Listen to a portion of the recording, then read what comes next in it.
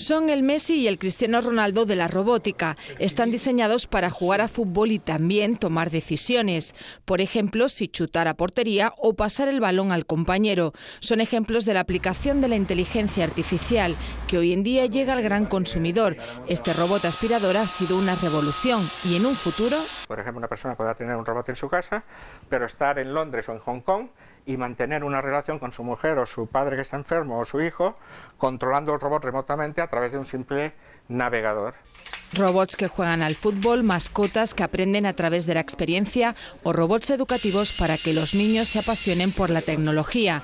Son los embriones de una ciencia que pretende poner las máquinas al nivel de nuestra inteligencia.